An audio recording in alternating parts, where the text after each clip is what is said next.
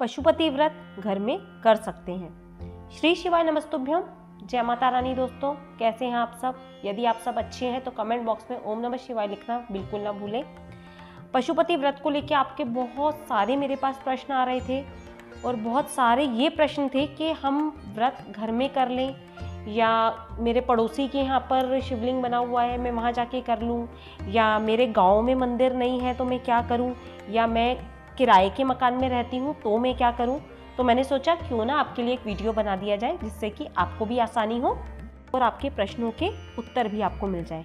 देखिए, सबसे पहली बात, आप आधी अधूरी जानकारी पे मत जाया करें, क्योंकि यूट्यूब्स पे मैंने कुछ वीडियो देखे हैं, जिन्होंने कहा है कि पशुपति व्रत आप घर में कर सकते हो। परंतु आप शिव पुराण उठा कर देखिए, शिव महापुराण में वर्णित है कि पशुपति व्रत घर में नहीं किया जा सकता। सबसे पहले प्रश्न तो मेरे पास यही थे कि व्रत को हम घर में ही कर लेते हैं पूजा पाठ जैसे मंदिर में करना हम वैसे ही कर लेते हैं। तो शिव महापुराण में यह वर्णित है कि शिवलिंग, जो शिवालय का शिवलिंग होता है, वो ही इस व्रत में सर्वश्रेष्ठ माना गया है। यानी कि उस शिवलिंग की मान्यता नहीं है जो आपके घर में रखा है। आप पूजा पाठ करते हो, बहुत अच्छी बात है। पर शिव, महापुराण में ये लिखा हुआ है कि पशुपति व्रत में जो मंदिर में रखा हुआ शिवलिंग है उसी शिवलिंग की मान्यता मानी जाती है, क्योंकि उस शिवलिंग पर सभी लोगों की दृष्टि पड़ती है। और उस शिवलिंग पर यदि आप व्रत करते हैं तो आपका व्रत पूर्ण माना जाता है। तो ये गलती ना करें। देखिए, व्रत आप अगर बोल दिया जाए, आप घर में कर लीजिए। आपने व्रत बहुत मेहनत से, बहुत हर चीज़ को नियम पालन करके किया, मगर आपकी इच्छा पूर्ण नहीं हुई, मनोकामना पूर्ण नहीं हुई तो आप दोष किसको देंगे? कि भगवान ने मेरी नहीं सुनी। तो आप देखिए, सुनी सुनाई बातों पे ना जाएँ। व्रत मंदिर में जाकर होता है तो इस व्रत को मंदिर में ही करें। अब कुछ प्रश्न मेरे पास थे कि यदि मेरे पड़ोसी के घर में शिवलिंग बना हुआ है, या मतलब उनके घर में वो पूजा करते हैं तो मैं वहाँ जाके पूजा कर लूँ क्या? तो देखिए, मैंने पहले ही क्लियर कर दिया है कि घर में रखे इस शिवलिंग की मान्यता इस व्रत के अंदर नहीं है। अब एक प्रश्न मेरे पास ये था कि मैं मायके में हूँ अभी तो मैं मायके से ही व्रत स्टार्ट कर लूँ क्या? तो देखिए, सबसे पहली बात यदि आप विवाहित स्त्री हैं, आपकी शादी हो चुकी है तो आप जो भी व्रत करती हैं, जो भी व्रत उठाएँगे, वो आप अपने पति के घर से ही उठाएँगे। यानी कि शादी होने के बाद आपका गोत्र, आपका नाम, आपका सरनेम सब कुछ बदल जाता है। और यदि आप विवाहित होने के बाद अपने मायके से व्रत करते हो तो इसका कोई पुण्य फल आपको या आपके पति को नहीं मिलता है। तो शादीशुदा महिलाओं को जो भी व्रत होते हैं, बड़े जैसे एकादशी का व्रत हो गया या जो भी आप चौथ के व्रत करती हैं, जो भी करती हैं, अगर आप शादीशुदा विवाहित हैं तो आपको आपके पति के घर में ही वो व्रतों को करना चाहिए।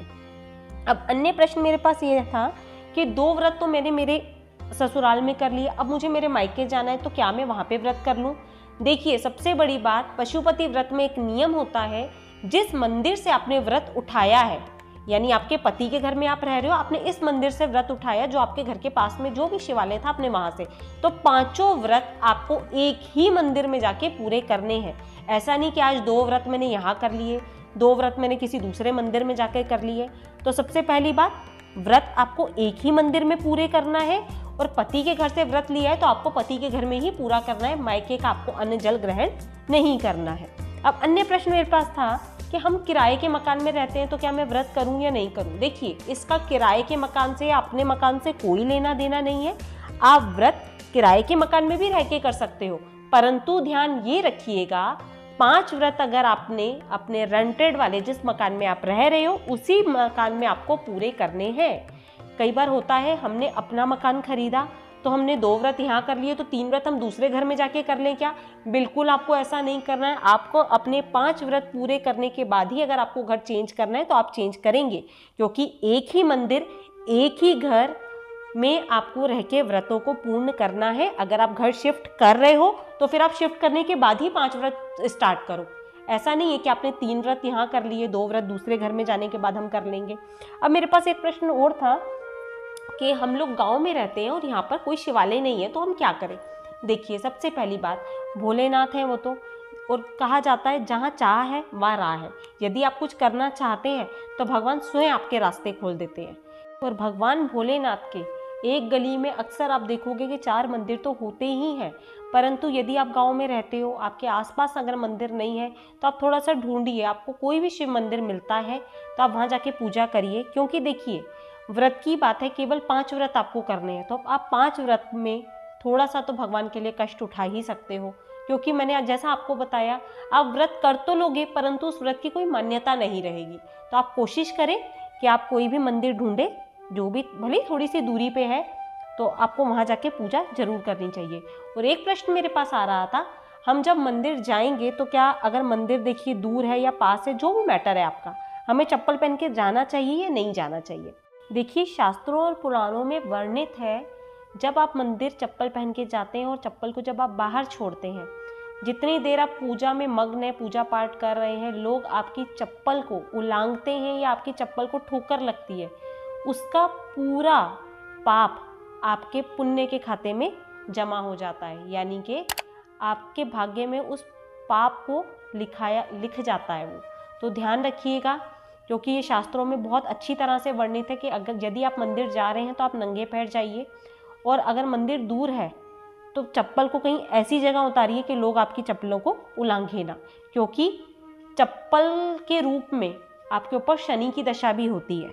तो इसीलिए विशेष ध्यान रखिए। कि जब आप मंदिर जाएँ तो चप्पल ना पहन के जाएँ और यदि पहन के जा रहे हैं तो किसी ऐसी जगह पे उतारें कि लोग आपकी चप्पल को उलांगे ना या आपकी चप्पलों को टच ना करें, क्योंकि चरण पादुका का बहुत ज़्यादा महत्व पुराणों के अंदर वर्णित है।